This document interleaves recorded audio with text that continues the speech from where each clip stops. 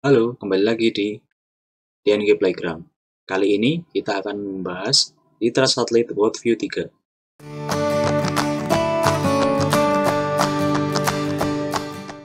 Video ini juga sebagai bagian dari tugas penginderaan jauh 2 yang diambil oleh Ibu Rika Hirnawati. Mari kita mulai. Outline dari bahasan kita kali ini di antaranya adalah Yang pertama adalah apa itu citra satelit yang kedua adalah akuisisi citra. Yang ketiga, apa itu Satellite World View 3? Yang keempat, apa saja spesifikasi dari World View 3? Yang kelima adalah contoh manfaatan. Sebelum memulai, perkenalkan ini adalah anggota dari tim A1. Selanjutnya kita akan memulai penjelasan mengenai apa itu citra satelit. Baiklah, di sini saya akan menjelaskan apa itu citra satelit. Baiklah, kita mulai dengan pengertian citra. Citra merupakan gambaran atau rekaman gambar yang tampak dari suatu objek yang diamati sebagai objek atau hasil liputan dari alat pemantau atau sensor.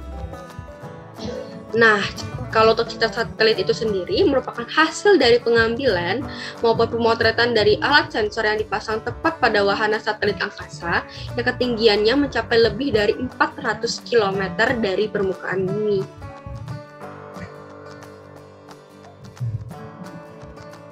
Nah, citra sendiri satelit ini sendiri awalnya digunakan di bidang militer dan lingkungan, tetapi semakin banyak dan perkembangan zaman, citra satelit ini dapat digunakan dalam bidang produksi peta, pertanian, kehutanan, perencanaan tanah nasional, perencanaan kota, dan lainnya. Selanjutnya, pada saat ini ketersediaan citra satelit di kalangan masyarakat umum memungkinkan semua orang untuk menggunakan gambar satelit lebih banyak sepenuhnya. Nah, selanjutnya Bagaimana dengan cara akuisisi citra satelit? Baiklah, dapat kita simak dengan video berikut. Nah, akuisisi citra satelit ini merupakan proses pengambilan citra satelit sebelum dilakukan pemrosesan lebih lanjut. Dapat kita lihat di sini bagaimana sensor mengambil data citra satelit dengan proses penyapuan dengan permukaan bumi Baik, selanjutnya saya akan menjelaskan mengenai apa itu satelit Worldview 3. Satelit Worldview 3 merupakan satelit observasi bumi yang dimiliki oleh Maxar Technologies. Satelit ini diluncurkan di pangkalan udara Vandenberg, California, Amerika Serikat pada tanggal 14 Agustus tahun 2014 dengan menggunakan roket peluncur Atlas V401 dan AV407. Satelit ini dirancang untuk menghadirkan gambar citra yang memiliki resolusi spasial tinggi yang tersedia untuk kepentingan komersial. Secara spesifikasi, satelit ini memiliki empat resolusi spasial dengan resolusi 0,31 meter untuk band pankromatik, 1,24 meter untuk band multispektral, 3,74 meter untuk band SWR, serta 30 meter untuk band kapis. Untuk bandnya sendiri terbagi menjadi empat kategori band yaitu satu band pankromatik, 8 band multispektral, 8 band SWR, serta 12 band kapis.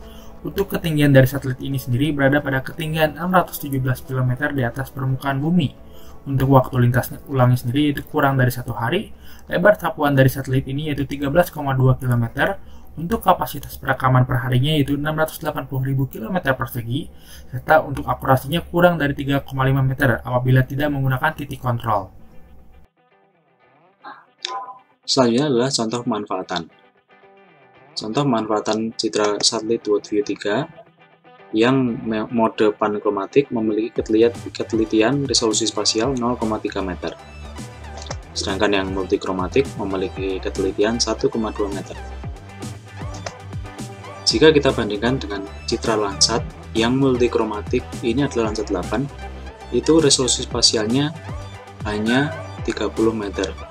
Jadi dengan hasil gambar seperti ini kita kurang teliti untuk digitasi atau pengganti peta. Sedangkan untuk citra world view 3 yang multikromatik pun sudah 1,2 meter sudah lebih jauh lebih presisi dibanding dengan citra Landsat. Apalagi jika difusi dengan world view 3 yang pankromatik. Jika kedua citra ini difusi atau digabung, maka akan dihasilkan citra multikromatik dengan resolusi spasial 0,3 meter. Tapi pemanfaatannya juga harus menggunakan software tertentu atau diproses dengan software tertentu, misalkan Envy atau ArcGIS. Itu adalah salah satu contoh manfaatan dari Citra World View 3. Itu tadi adalah penjelasan dari kami mengenai apa itu Citra Satelit World View 3. Terima kasih sudah menyimak, sampai jumpa di video-video selanjutnya.